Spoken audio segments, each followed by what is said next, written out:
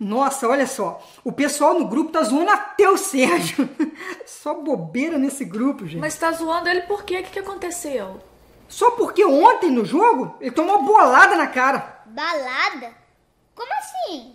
Seu pai falou bolada, meu filho. Bolada? O que que é isso? É bolada, filho, de bola. É porque ontem a gente tava jogando futebol e o Ronaldo deu um chutão pro gol, mas sabe que chutão mesmo com muita força? Só que ele errou o gol e bateu na cara do Sérgio. Nossa, mas foi uma bolada de cheia mesmo, com muita força, viu? Ai, deve ter doído, hein? Ah, acho que doeu sim, tá? Porque ele ficou com a cara até roxa, você tinha que ver. Nossa, coitado. Pois é, coitado mesmo, deu dó, viu? Nossa senhora. Ah, mas tem coisa que a gente. Caraca!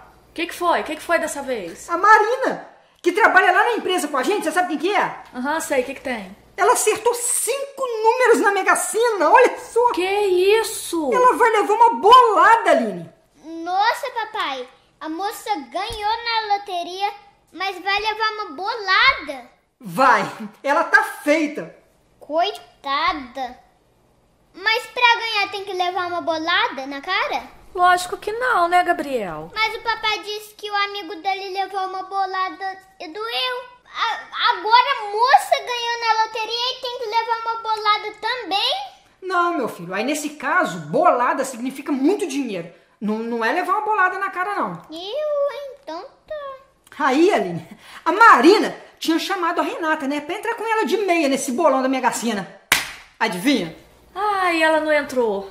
Pior que ela não entrou.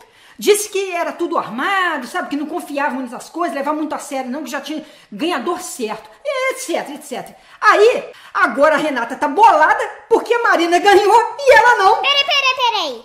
Deixa eu entender.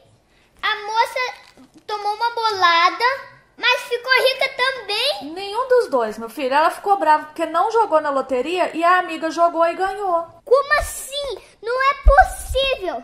Quer saber? Vou lá no meu quarto jogar videogame e parar de prestar atenção na conversa de vocês. Tá entendendo nada? Isso que dá aí. Quer acompanhar a conversa de adulto? Pois é, vai vendo.